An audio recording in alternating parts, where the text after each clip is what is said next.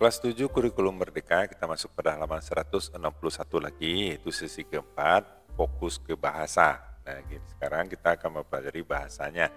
Dengar bagian A yang A-nya, dengarkan audio 46, pelajari bagaimana meminta dan memberi informasi tentang schedule kelas seseorang.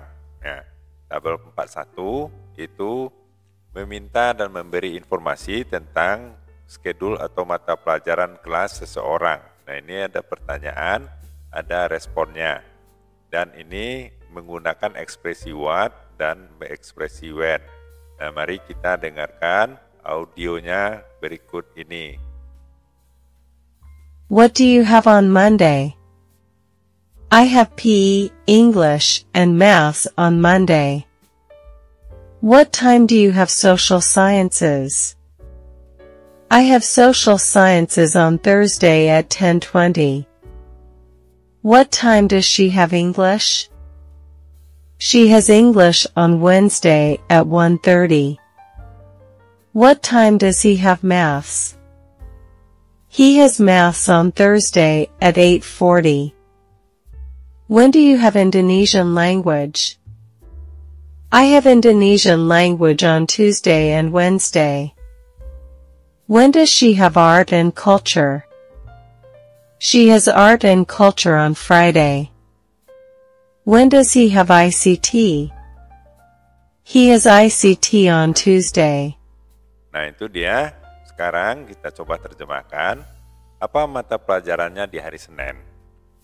Apa apa pelajaran kamu di hari Senin? Nah, saya pelajaran saya PE, olahraga, bahasa Inggris, matematik di hari Senin.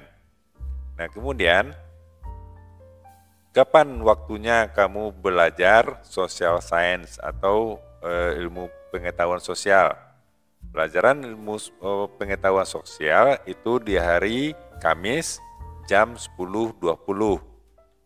Nah, kemudian jam berapa kamu belajar bahasa Inggris? Jam berapa dia ya, bukan kamu, dia dia belajar bahasa Inggris di eh, hari Rabu jam 1.30. Kemudian jam berapa dia belajar matematik? Dia belajar matematik di hari Kamis jam 4 eh, jam 8.40. Itu menggunakan ekspresi what. Kemudian menggunakan ekspresi when. Kapan kamu belajar bahasa Indonesia. Saya belajar bahasa Indonesia di hari Tuesday itu Kamis dan uh, Wednesday Rabu. Nah, kapan dia belajar uh, seni dan budaya?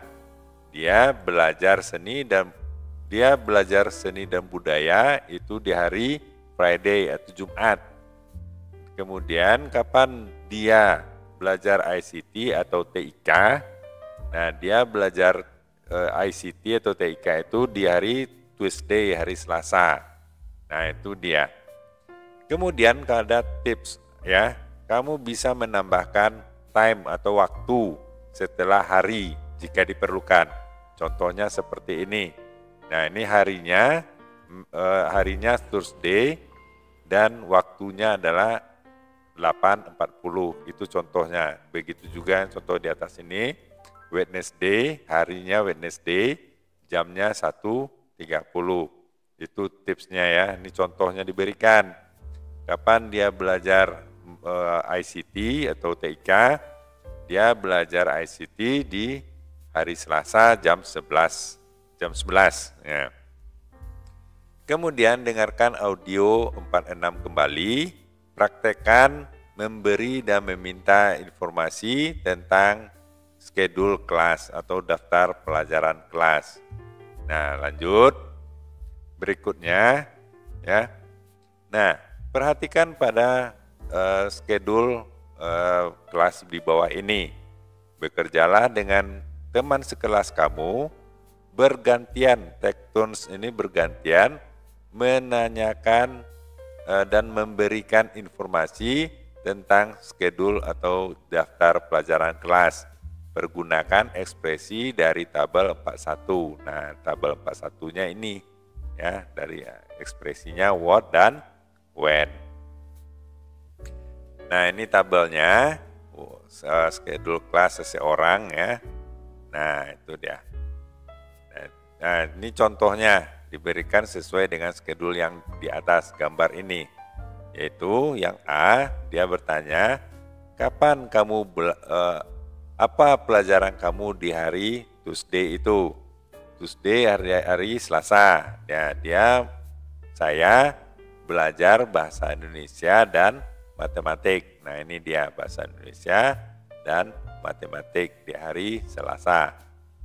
Kemudian kapan waktu kapan kamu belajar ICT? Saya belajar ICT itu hari Minggu hari Senin jam 10 jam 10 ya. Kemudian kapan kamu belajar matematik?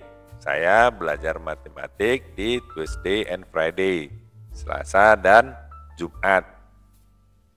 Kemudian lanjut, kapan kamu belajar uh, seni dan budaya? Saya belajar seni dan budaya di hari Jumat jam 10. Nah, nah itulah dulu untuk kali ini.